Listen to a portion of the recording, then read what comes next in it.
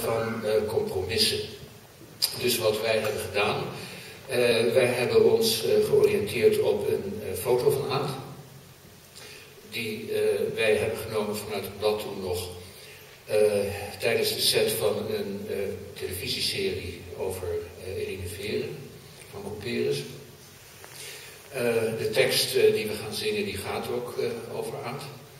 Ehm, we hebben ook een van een artiest waarvan we zeker weten dat Ati bijzonder vond, al was het maar vanwege de manier waarop hij op het toneel stond. Het zal straks wel duidelijk zijn wie dat is en hoe dat zo komt. En uh, ja, dan eh, zit er ook iets van Aad zelf in. We hebben een vierregelig uh, gedichtje van Aad, lichtpuntje heette dat, hebben we gebruikt.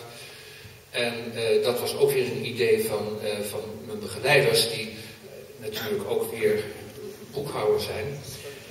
en die zeiden van, nou, we moeten ook iets in het nummer doen van Aad zelf, want als onze versie dan een hit wordt, en we verkopen daar heel veel platen van, dan komen er ook weer, dan deelt Aad, of de, de erven, Bontebal zal ik maar zeggen, die delen dan in de rechten en dan kan Theo weer een volgend boek maken.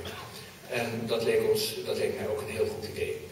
En ik uh, wou in ieder geval ook eventjes uh, Theo feliciteren met zijn uh, werk wat hij heeft verricht. Ik heb net ongeveer begrepen hoe dat is gegaan.